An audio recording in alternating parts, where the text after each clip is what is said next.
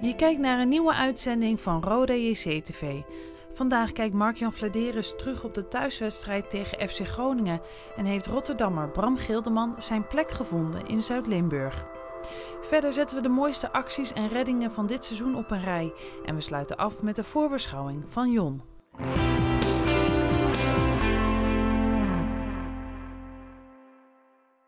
Rode JC Kerkrade speelde zondagmiddag de laatste reguliere thuiswedstrijd van dit seizoen.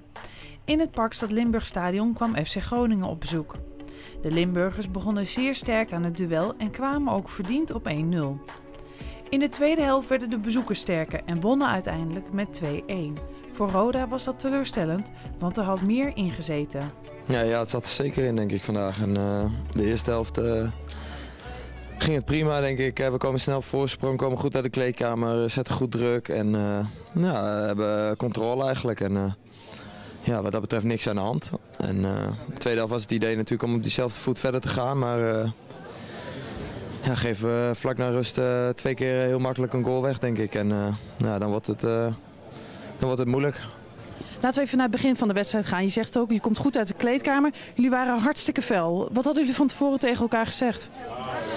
Ja, in ieder geval dat we scherp en, uh, en fel moesten zijn. En uh, dat we volledige druk op de tegenstander wouden zetten. En ik denk dat dat behoorlijk goed ging het eerste half uur. En, ja, dan kom je ook terecht op voorsprong, denk ik. En nou, misschien met een beetje geluk kan er nog, nog eentje in of zo.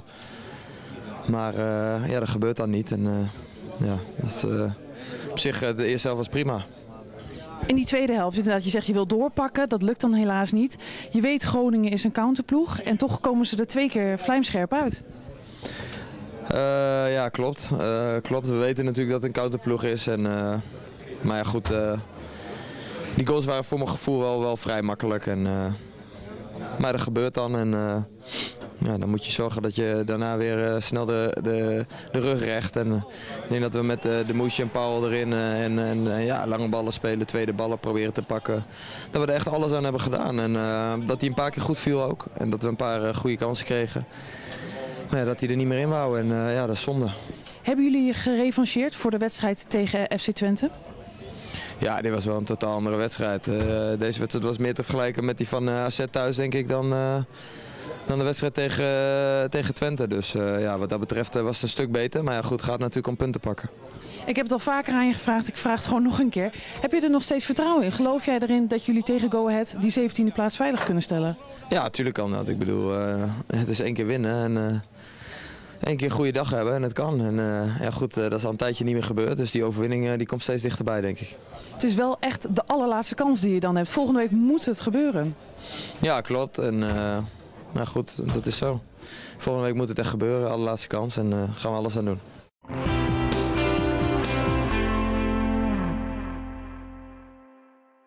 In de beginjaren van Roda JC in de eredivisie verdedigde hij het doel van de Limburgers, Bram Gildeman.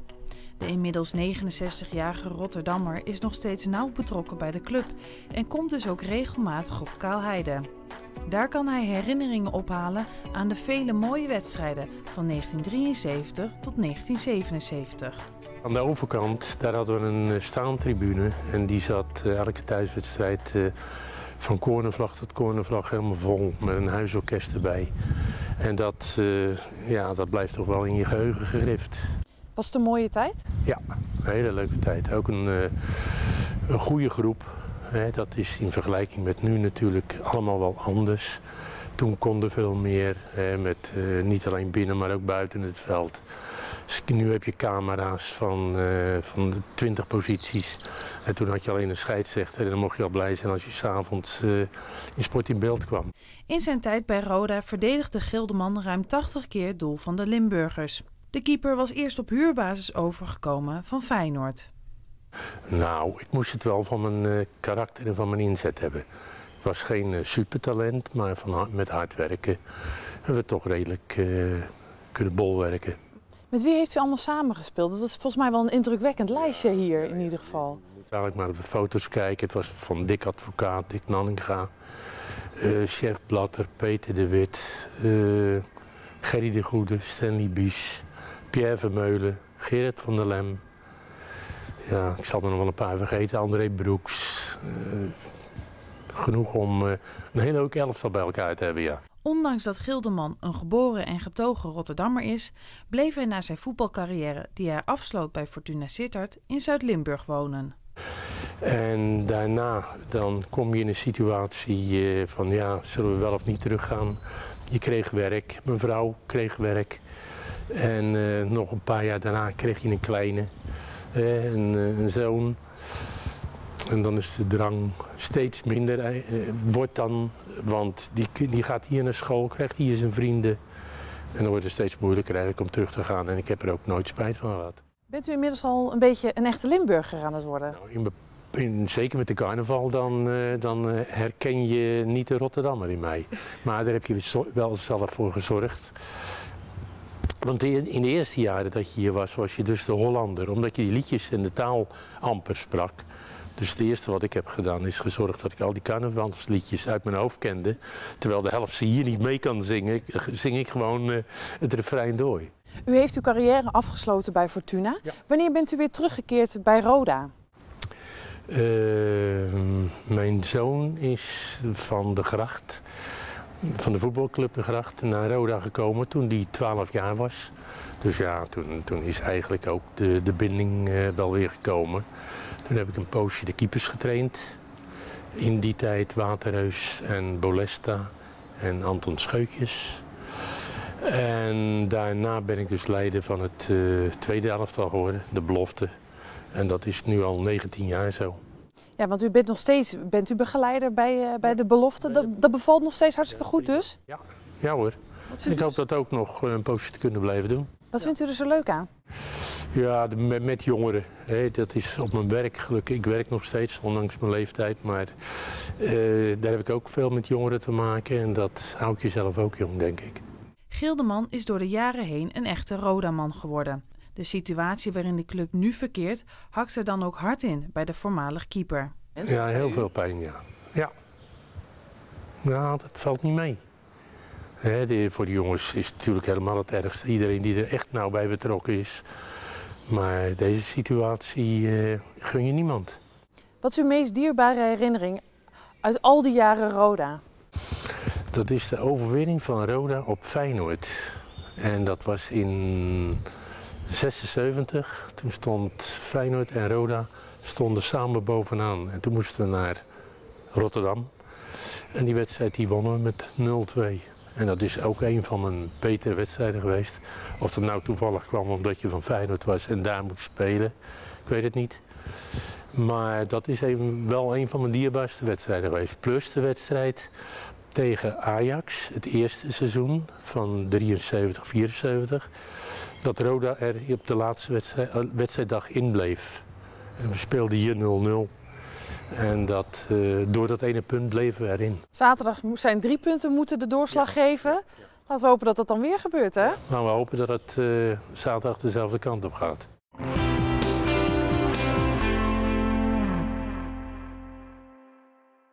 Iedereen binnen en rondom Roda weet wat er aankomend weekend op het spel staat.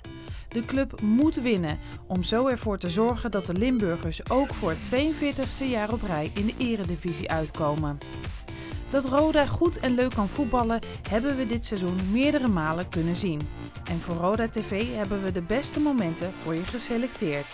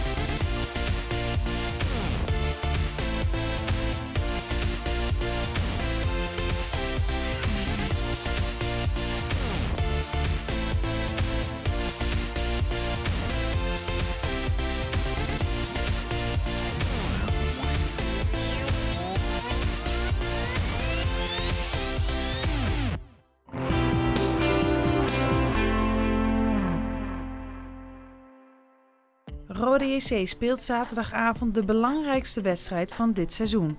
In Deventer gaat de ploeg op bezoek bij Go Ahead Eagles.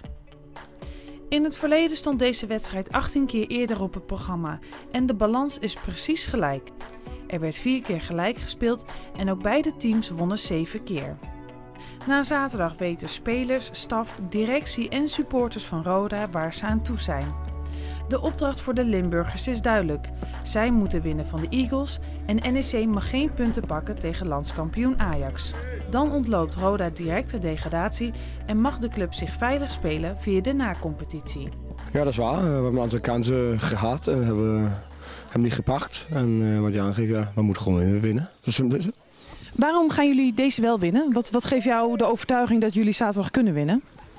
Nou, kijk, uh, als je in onze wedstrijd, los van emotie, een beetje probeert te analyseren. tegen Groningen. Ja, was gewoon een goede wedstrijd. Eén ding deed we niet goed, dat was doelpunten maken. Uh, op een gegeven moment moet er wel goed vallen natuurlijk. We hebben wel zes kansen gehad. Zo ja, als hij ook gewoon goed valt bij Go Ahead. We creëren kansen elke wedstrijd om natuurlijk doelpunten te maken. En scherp staan in verdediger opzicht dat, die doelpunten maken, dat, dat is eigenlijk wel een terugkerend probleem, wat, wat niet altijd lukt. Hoe probeer je daar toch iedere week weer aan te werken en met de jongens naar te kijken hoe ze er wel in kunnen vallen? Ja, sowieso uh, afwerken we drie keer per week, normaal gesproken. En, uh, en dat heeft natuurlijk ook een beetje met vertrouwen te maken, dat is logisch. Uh, maar ja, een beetje geluk heb je ook nodig uh, in die opzicht. Nou, gewoon uh, proberen te schieten. Je hebt ook spelers. Als je met minder vertrouwen speelt, en dan schiet je niet zo snel. Dan moet gewoon geschoten worden. Ja, dat kan er mis, maar in ieder geval heb je best gedaan dan. Go Ahead promoveerde vorig seizoen via de na-competitie naar de eredivisie. De ploeg, die nu onder leiding staat van Foukeboy, speelde zich afgelopen weekend officieel veilig. De Eagles staan momenteel op de 13e plaats. Nou, we kennen natuurlijk ook heel goed. Uh, ze hebben een goed seizoen gedraaid. Het is de laatste wedstrijd uh, voor eigen publiek. Uh, hun zijn eigenlijk klaar.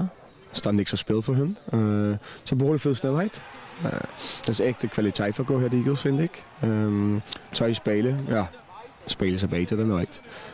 Maar wat ik verwacht, ja, is gewoon een, een, een ploeg die, die, die heel snel is in de omschakeling eigenlijk. Um, maar die ook aantal, elke wedstrijd eigenlijk een aantal kansen weggeeft. Zo, ik ben eigenlijk van overtuigd dat we kansen krijgen, maar we willen de bal inschieten. Jij zegt het is een ploeg die, ploeg die sterk is in de omschakeling. Maken zij thuis vooral het spel of wachten ze een beetje af? ah, thuis wil ze graag snel druk zetten. Uh, snel druk zetten en, en proberen het publiek mee te krijgen. Eigenlijk wat we ook deden tegen Groningen en uh, dat wil Go Ahead ook doen in die opzicht. Slaap jij nog goed? Ik slaap altijd goed. Uh, natuurlijk is het een heel vervelende situatie en het doet me pijn. Maar ik slaap goed. Uh, ik weet hoeveel energie die ik erin stapt. Uh, ja, dat is ook belangrijk om goed te slapen. Ja, want ik, ik, vraag natuurlijk, want je hebt het net ook over de druk. Ik bedoel, er zijn, vandaag zijn er drie cameraploegen, morgen komen er weer cameraploegen. Je hebt geen moment rust eigenlijk tijdens de training, want iedereen wil weten hoe het gaat. En er is zoveel spanning voor die wedstrijd van zaterdag. Ja, en direct. Omdat, uh, ik heb het vaak aangegeven. Heel veel mensen hebben gewoon iets met deze mooie club. Uh, ja, en het doet pijn dat we laatste staan. doet ook pijn voor mij. Het doet pijn bij de spelers. Maar wat we nu vergeten, je moet altijd alles geven en vechten voor je laatste kans. En de laatste kans is go ahead. Ik ben zelf um, erg gisteren bij, bij Spaatse Eindhoven geweest. Uh, vrijdag ga, ga, ik en de regie naar, naar Spaat, uh, Eindhoven Spaten. We zijn de tegenstander in de play-offs. Zo wat doen we gewoon onze werk. We gaan gewoon door. En, uh, en dan zijn we in ieder geval goed voorbereid. Jij gelooft erin zaterdag? Ja, we gaan ons gas geven. We gaan ons best doen en gas geven, ja. Het zit erop voor vandaag. Bedankt voor het kijken. Volgende week zijn we er uiteraard weer. En tot die tijd kan je al onze losse items terugzien op rodejc.nl. Graag weer tot volgende week.